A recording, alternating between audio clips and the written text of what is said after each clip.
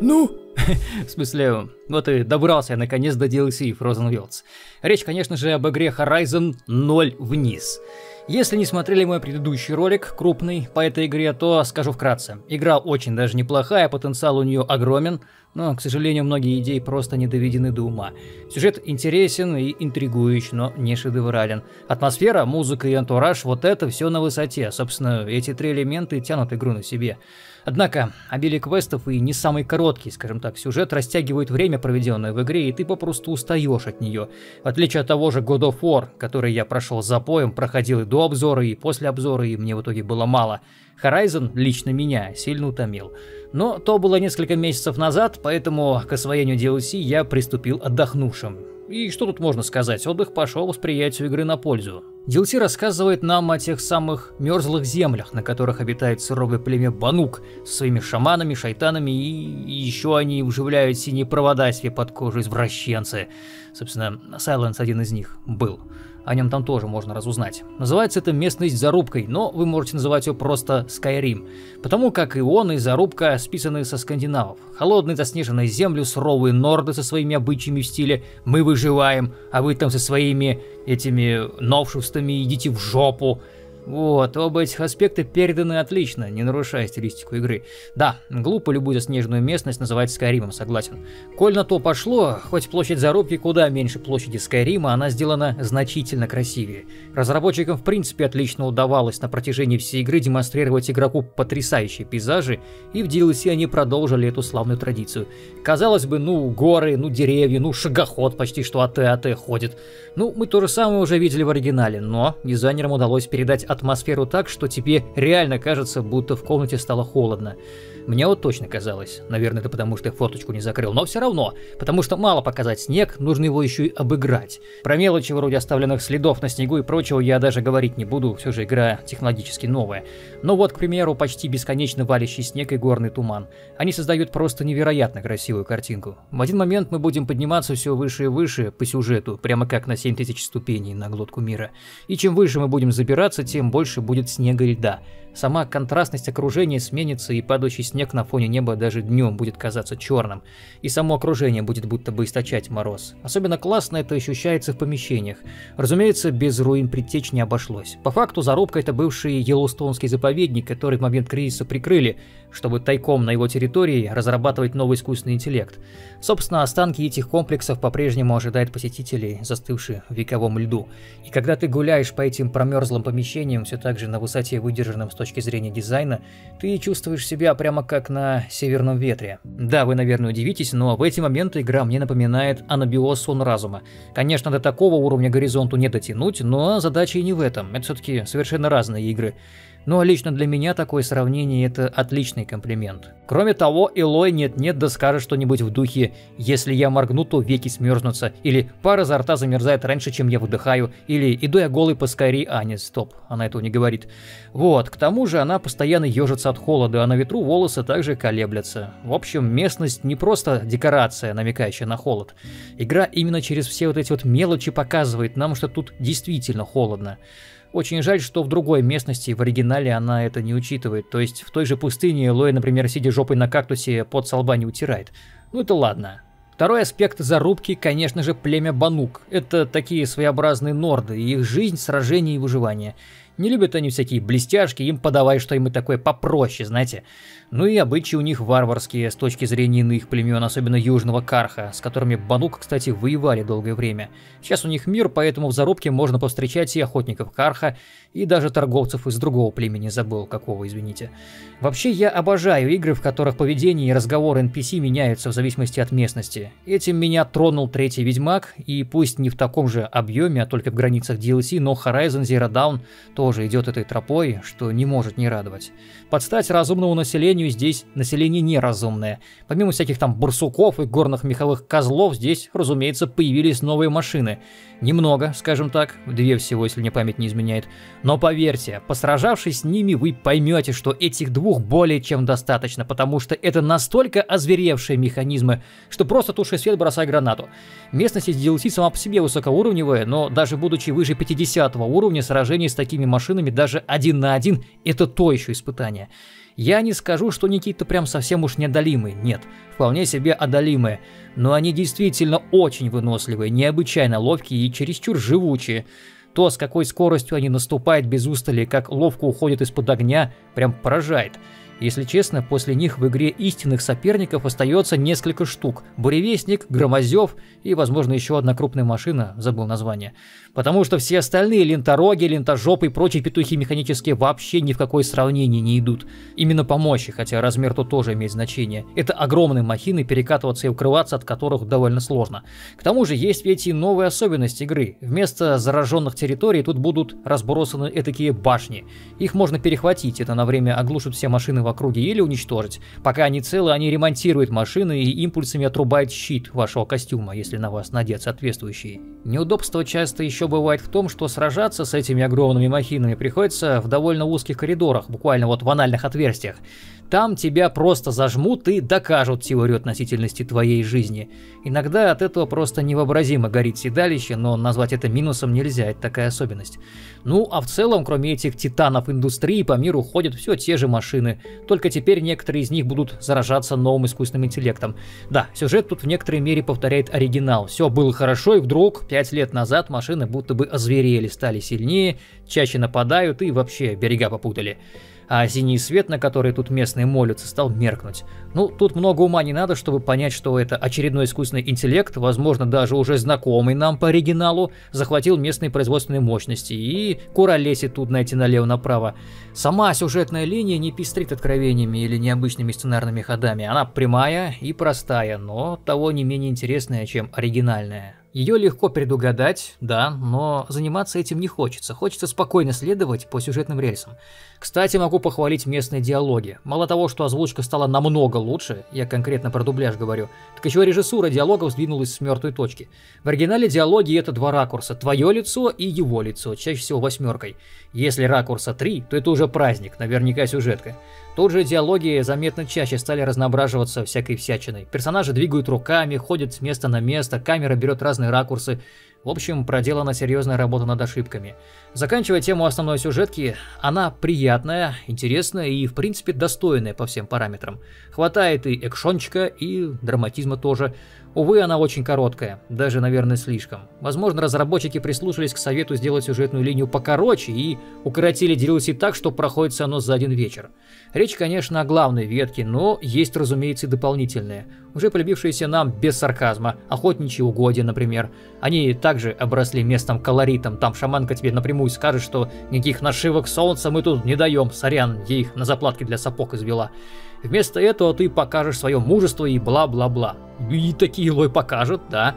Хочу отвлечься и признаться, что Илой мне нравится все больше и больше. То есть, мало того, что она рыжая, это уже плюс 100 к карме, так она еще и в принципе сделана красиво, как игровая моделька. Не помню, говорил ли я в том ролике об этом, но точно скажу в этом. Она прям отлично контрастирует с местным окружением. Щечки румяные, сама она тоже вся такая прям гибкая, прыткая, особенно на фоне стариков, с которыми мы будем путешествовать по сюжету. Красота. Ну так вот, вернусь к теме. Помимо охотничьих угодий есть еще и шагоходы, забыл, как они там называются.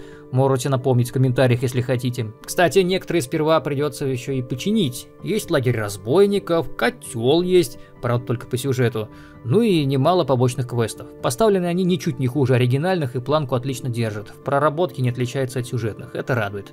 Все это не дает заскучать в снегах. А знаете, что еще не дает заскучать в снегах? Правильно, новое оружие. Да, новый тип оружия, волшебный посох. Ну, то есть как волшебный? Он не более волшебный, чем все остальное в игре. В общем, это палка с приделанным к ней огнетушителем, который отлично гасит огневолков. Собственно, только им я и спасался. Блин, не могу представить, что тут творится на высоком уровне сложности. Электропалка бьет током, прямо как действительно волшебный посох. Возможно, есть еще и другие аналоги, мне попадались только эти два.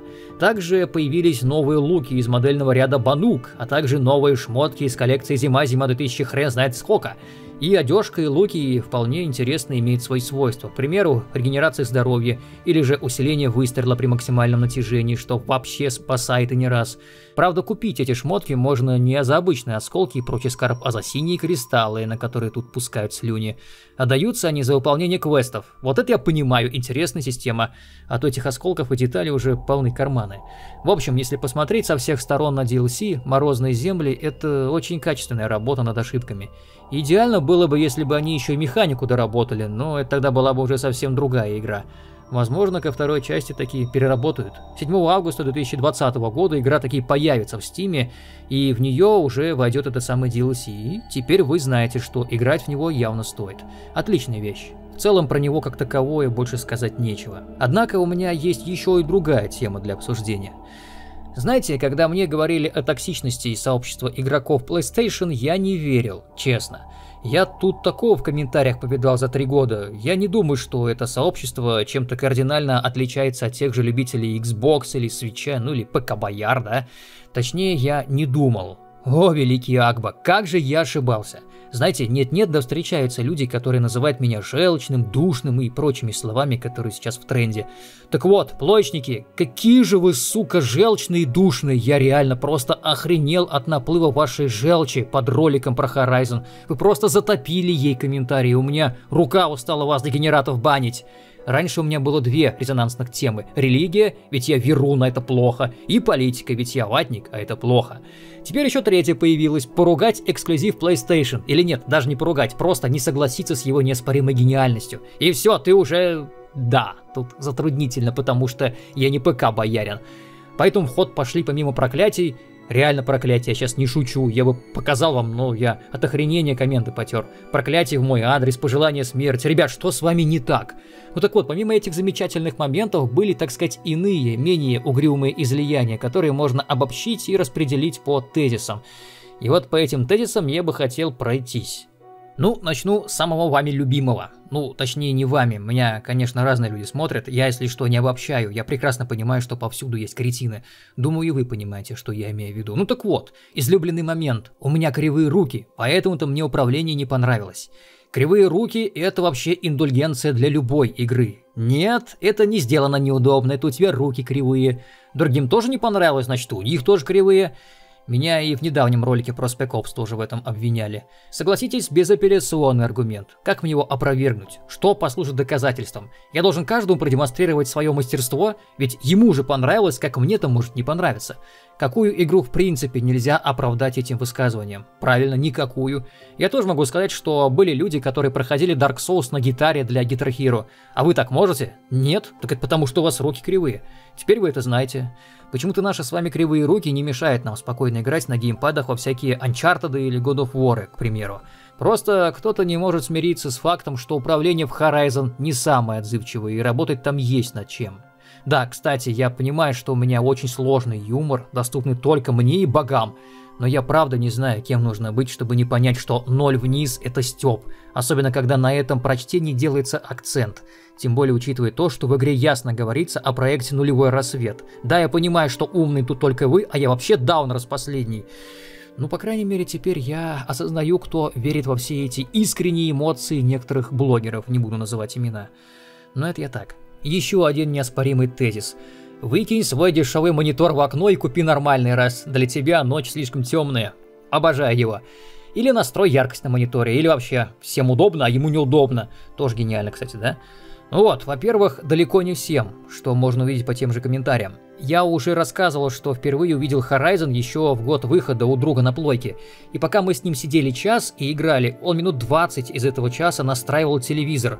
Вот эти все яркости, контрастности, насыщенности, притом не подряд, а в разбросе по этому часу. Наверное, ему тоже нужно было выкинуть телевизор в окно. Кстати, а не многовато ли нужно выкинуть? У меня, например, и на телевизоре, и на новом мониторе аналогичная ситуация. Монитор у меня дорогой по моим меркам, я на него полгода копил, за 20 тысяч взял. Если это дешевое говно, то, извините, за сколько я должен купить хороший монитор, чтобы наслаждаться одной единственной игрой? За стоимость той самой PlayStation или за стоимость нового мощного компьютера? Показательно то, что на старом мониторе с яркостью все более-менее нормально – так это может не мне, а кому-то другому стоит выкинуть монитор в окно. только в прохожих не попадите. И пофиг на яркость, я понимаю, что ночь есть ночь. А знаете, где еще ночь есть ночь? Везде. В Скайриме ночь есть ночь. В Ведьмаке ночь есть ночь. В Арксфата... Нет, стоп, там нет. В проектах без открытого мира на ночных миссиях мы можем одеть ПНВ или прочесть заклинания для зрения в темноте, или использовать фонарь в конце концов. Никто в здравом уме не будет заставлять тебя ломать глаза добрых полчаса, а примерно столько длится игровая ночь. В том же SnowRunner, симуляторе внедорожников, ночи очень темные, особенно в лесу, но есть мощные фары. А в играх вроде Skyrim и Ведьмака дана возможность перематывать время. Игрок поступает так, как ему удобно, кроме сюжетных моментов, где время суток обусловлено. А в Horizon что? Ничего, играй как есть. Костры есть, но перематывать время на них нельзя. Некоторые сочли меня дебилом, потому что можно, просто я не понял как. Мол, каждый отдых у костра перематывает немного время. На ваших глазах я проделал эту операцию несколько раз подряд. На улице как была ночь, так и осталась. Кто-то потом проговорился, что перематывает это совсем чуть-чуть, буквально секунд 30 от того самого получаса. Ну, если так, то извините, я и вправду дебил, не догадался до столь очевидного момента. Кстати, когда я играл первый раз, я загуглил, как перематывать время в Horizon. И что же я нашел? Несколько ответов и еще вот этот вот в стиле «А зачем? Ночью же так красиво, ведь так задумали разработчики». Да, интернет полнится гениями. Про настройку яркости каждые полчаса я даже заикаться не буду, вы и сами, наверное, понимаете, насколько это немного неудобно. Почему-то ни в одной другой игре у меня таких проблем не возникало, даже в том же SnowRunner. Ну и давайте, наверное, закончим этот цирк Дюсалей финальным тезисом, который меня больше всего удивил. Я не хороший человек и обзор у меня плохой, потому что я, внимание, хвалю игру про феминизм. Заметьте, как расходятся мнения. Я не хороший и потому что хвалю, и потому что ругаю. Как бы я ни корячился, я все равно плохой, и каждый из хороших считает, что корячиться я должен именно в его пользу ради его одобрения. Воистину, ничто так не портит идеи, как ее фанаты. Вы можете говорить что угодно, но я не увидел там никакого феминизма. Да, без дураков там очень много женщин-руководительниц, скажем так. Вожди, шаманы. Они очень часто представлены сильными и крутыми, в то время как мужчины на их фоне могут казаться какими-то уж вялыми. Иногда такое бывает, но обратных ситуаций не меньше, просто на них мы уже внимания не обращаем, потому что это в порядке вещей. Я не вижу ничего плохого в том, что женщины показаны сильными в мире, где слабые умирают очень быстро. Можно, конечно, сослаться на первобытно-общинный строй и прочие аспекты социализации женщин в обществе, но игру не первобытные люди делали. Разумеется, идеи феминизма наложили отпечаток на Horizon, но здесь их проявления не выглядят дебильными. Племя с матриархом, ну и что? Матриархи-шаманки. Заметьте, племя самое недоразвитое, а самое крутое племя, самое развитое, с королем. Руководители отрядов или даже вирдов, аналог малого племени в DLC, иногда женщины, ну что в этом такого? Оглянитесь вокруг на современных мужчин. Мы с вами в вопросах хозяйства порой так комично выглядим, что просто атас какой-то, смех и грех. Я недавно искал в холодильнике молоко 5 минут, нашел в холодильнике же прямо перед глазами в бутылке с надписью «молоко». Как так вообще можно? Про холодильник это и так, конечно, шутки ради, но сила и выносливость это еще не все, что нужно. Конечно, тот же Дмитрий Юрьевич, услышав это, назвал бы меня малолетним, ну вы знаете кем, да, и сказал бы, что «не может женщина руководить отрядом озверевших мужчин» или что-нибудь в этом роде. Ну, если вы в это верите, то для вас любая игра будет феминистической. Наверное, Skyrim вы тоже презираете? Нет? А почему? Вам что-нибудь говорят имена Лидия, Арилет, Йордис, Дельфина, Ярл Морфола, забыл имя. Это все сильные женщины, а кто-то даже и руководит ватагой озверевших мужчин, северных, кстати, мужчин. В общем, какой-то у вас странный взгляд на мир, честное слово. Вы, видимо, не сталкивались с действительно явными проявлениями феминизма. Хотя я слышал, что в последнем Last of Us, впрочем, об этом как-нибудь потом, как-нибудь совсем потом. Я к чему веду? Я разочарован в сообществе плочников, сильно разочарован. Мне после такого вообще не хочется с ними контактировать, и кому бы захотелось. Такая агрессия и безумный фанатизм кого хочешь отвадит. Не нужно так. Не позорьте хорошую консоль с интересными эксклюзивами, которые все чаще переливаются на компьютеры, но это уже совсем другая история. По моим подсчетам, Horizon должна выйти на ПК уже завтра, и, скорее всего, ее высоко оценят, особенно те, кто уже играл на консоли. В конце концов, действительно есть за что. Но как же будет забавно, Муцерры, если оценки будут хотя бы смешанные. Но это так, отголосок потенциального злорадства. В общем, я, пожалуй, пойду еще погоняю по снегу, побочки поделаю. Не уверен, что пройду ее на платину, как God of War, ну, все же. Чего и вам желаю.